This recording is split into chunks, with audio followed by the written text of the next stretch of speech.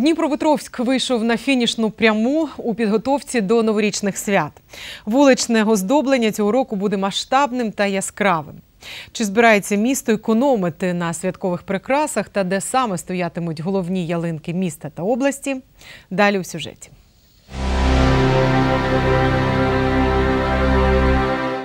Як створити святковий настрій, коли за вікном плюсова температура? На це питання нам, як не дивно, відповідь дали у міськсвітлі, яке наразі активно займається прикрашанням міста до Нового року та Різдва.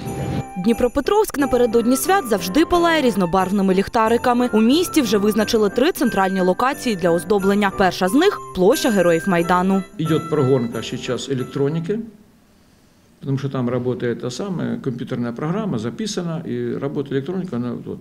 Часть этих сказочных, там э, Баба Яга, допустим, вот эти домик на куриной ножке, и плюс, допустим, вот эти все фигуры 3D, они все будут вокруг елки расстановлены. Правда, в этом году немножко добавляется туда на площадь э, торговые домики будут. Но я думаю, что торговые домики, они картину не испортят. Якщо пройтися далі центром міста, можна потрапити на різдвяний ярмарок під зірковим небом. Він на європейській площі. Торгові дерев'яні будиночки, високі святкові арки та океан зіркових ліхтариків над головою. Таке оздоблення має сприяти святковому настрою якнайкраще. Европейская площадь тоже будет украшена.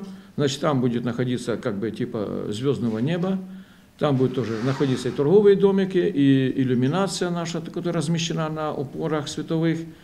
Ну и плюс еще будут установлены три арки. Это новые, которые в этом году приобретены это три арки.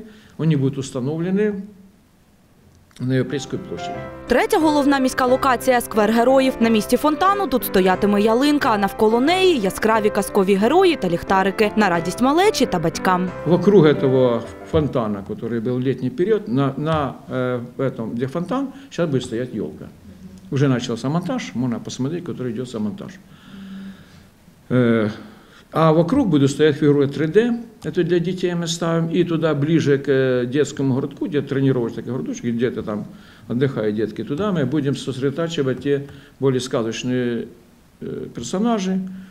Оля некоторые у нас мы были вот эти световые, которые мы м, каждый год ремонтируем. Мы решили уже в прошлом году, и оно неплохо получилось. Мы их подняли на растяжках, чтобы они были доступны для того, чтобы было поломать. И оно хорошо смотрится. Головні міські ялинки, які стоятимуть на площі героїв Майдану та у сквері героїв, відкриються у день Святого Миколая, 19 грудня. У міськсвітлі зазначили, заощаджувати на святковому оздобленні не збираються. І місто на новорічні свята засяє тисячами яскравих вогників. Марія Козлова, Тарас Іванов, Дмитро Большак. Новини 9 каналу.